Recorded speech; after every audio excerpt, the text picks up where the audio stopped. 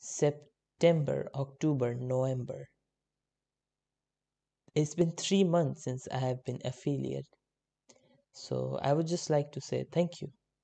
Thank you everybody who have been watching my streams, those who have subscribed, those who have donated, those who have uh, even followed, or just the most important, if you enjoyed my stream, I'm happy. I'm really thankful that you guys have stuck with me for three, four months. I mean, three months since affiliate.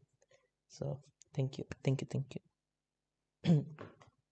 and I promise there will be more better content um, available in the future. I will expand myself, alright?